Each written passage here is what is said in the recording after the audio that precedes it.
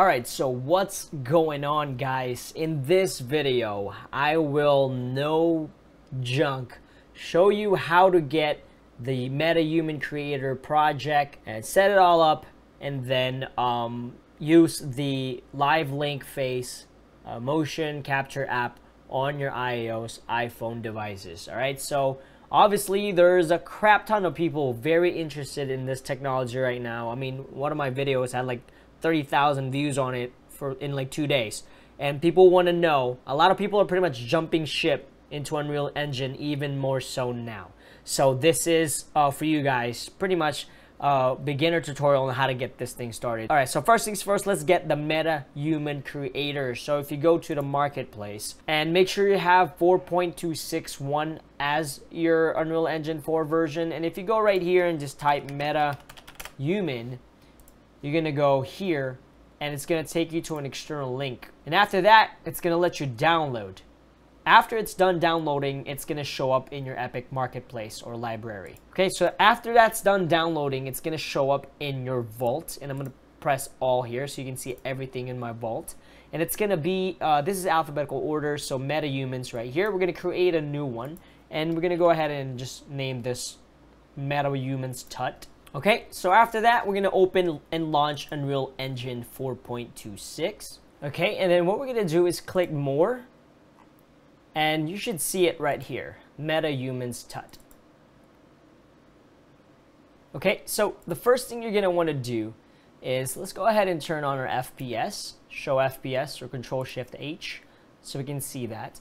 And if your laptop is crying right now, you can change the scalability to low okay? You can change this all the way to near, and that should increase your FPS. And by default, the camera, I'm WASDing here, kind of like a video game.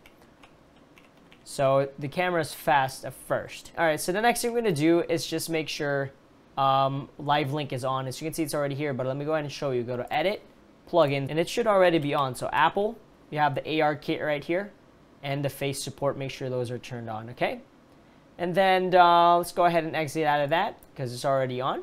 If I press G, it's going to remove all those icons so, you know, we can get rid of them. So this project has two different characters. Now, everybody's been using this lady, so I know I've been using the Asian one for a little bit. So what I'm going to do is just go ahead and go to the content here and go to the main folder here. So we're just looking at this main folder. Now, what I'm going to do next is go to Windows. And if you click Live Link right here, you're going to see this live link that I just docked. You can just dock this everywhere you want. I have it docked right there. So you have the place actors and then the live link. All right, so like I said, we're going to be working on the Asian guys. So what I'm going to do is actually go ahead and delete this girl in the outliner right here. So I'm going to go ahead and delete this girl right here and yes to all is okay. And I'm also going to delete this example. So whenever I press play, it's not going to play because this is the actual ad that they had. So I'm going to go ahead and delete this right here. So when I press play, it should, uh, shouldn't play anything pretty much. And then what I'm going to do now is just delete this wall. And I'm going to go ahead and save all. And that's going to reveal our character right here. I'm going to go to Edit, Plugins, and I'm going to go ahead and turn on HDRI, Backdrop, Enabled, and I'm gonna go ahead and restart. And then what I'm gonna do is drag and drop an HDRI right here that I downloaded from HDRI Haven. Alright, so we have this HDRI here, and what I'm gonna do is go back to the place actors, type in HDRI, and I'm gonna drag and drop that here. And then what I'm gonna do is just kind of move it down, and you can disable the snap tool right here, so you get a little bit of a smooth gradient on your movements.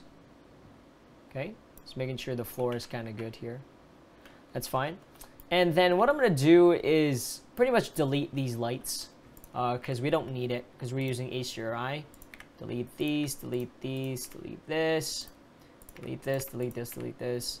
And let's go ahead and delete the camera. So this project also comes with two post-processing volumes that we can delete as well since we're just trying to learn how to uh, do the mocap anyway. And then we'll go ahead and save all. Okay. So you can see he's not gonna look that great because we're pretty much disabled a lot of stuff like lighting.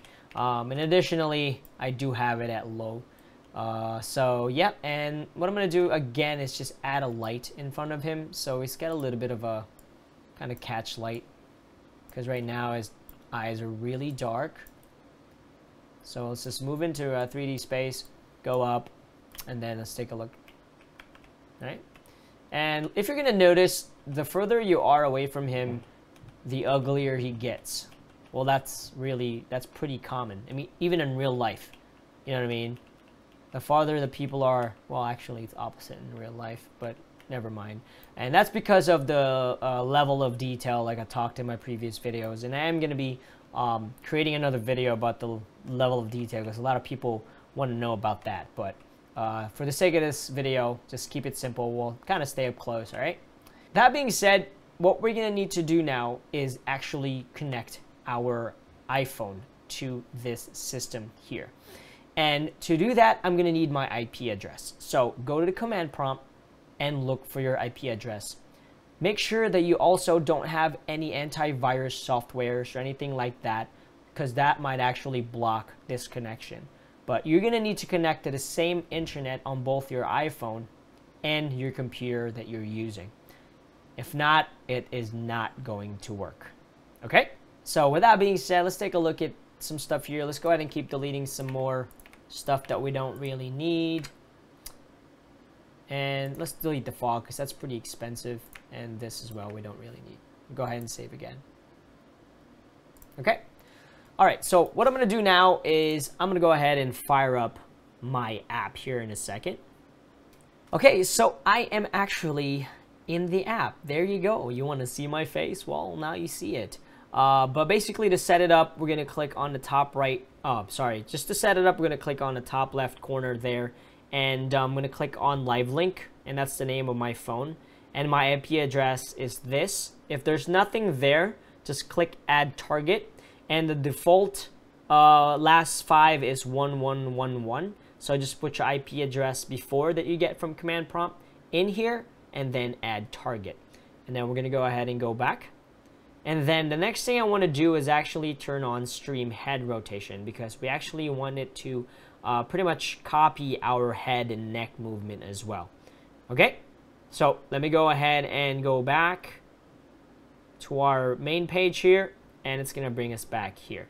So now what I'm going to do is actually go to the Unreal Engine 4 live link. So right away, the live link should actually pick up this phone right here which is really cool because it's just going to show up there.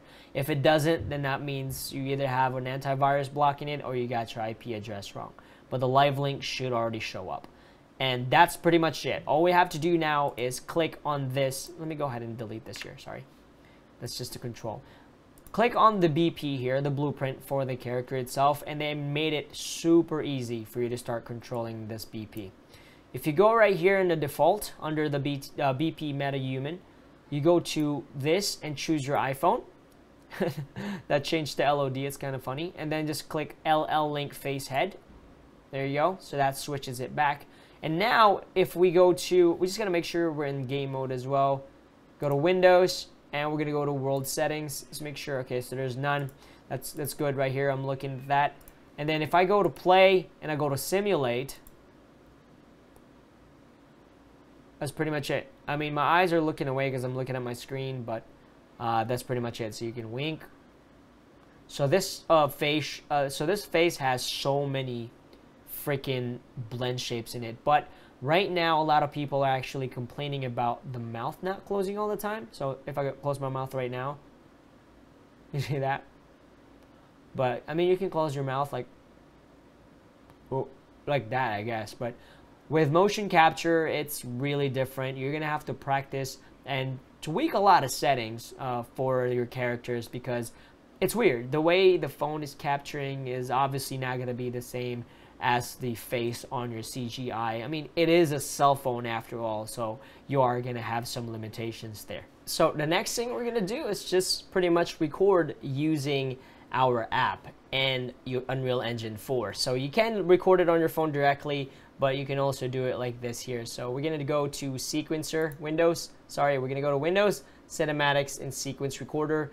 My sequence recorder is already right here. That's why it's not showing up. And let me go ahead and press stop, and I'm gonna go ahead and remove all this so you can kind of see what we're doing. I'm gonna go ahead and press simulate here. See this? Okay. And then what I'm gonna do is click on the actual BP on the right side, add that to the sequencer recorder, and then press record. And it's gonna show a little countdown here. What's up guys? So, you know, I'm just testing this out because a lot of people wanted to know how to do this from scratch. So here you go, with my face and everything, with my kids yelling in the background. So, uh, oh, that's that is just that's just weird.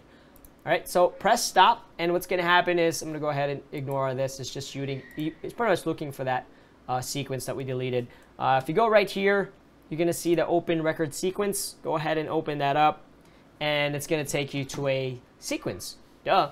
Um, what it's to do is actually create a copy of your human character here. See, there's two. One inside the sequence and one inside your outline. So what I'm to do is get our original and just hide it. Okay? And you're probably thinking to yourself, wow, that looks like crap. Well, thanks to Style Marshal, again, the granddaddy of Unreal Engine 4, uh, if you go to face right here and change the animation mode to custom mode, and then just keyframe right here in 0, 0. Now, I'm going to go ahead and hide this again right here. Now, you're going to see our recorded facial motion capture. And if I play this, there you go. And let's go ahead and get the frames per second up. Oh, this is showing real time, okay? So I'm going to go ahead and go here, and we're at 30 frames per second. Okay. Oh, and by the way, I know a lot of people ask all the time, my specs, RTX 3090, Intel 10900K, 4.9 gigahertz, and 64 gigs of RAM. So that's what I'm kind of working with here. And then to break this here, we're going to crank this up to cinematic, and let's see if my computer dies. I'm going to go ahead and press play. So you can see there, I'm getting like 19 frames per second and my screen is like flickering like crazy. All right, here we go. So we're about to, this is the end of the tutorial. I'm just trying to see if I can break my computer. Here you go, 13 seconds. But look at that. That looks awesome.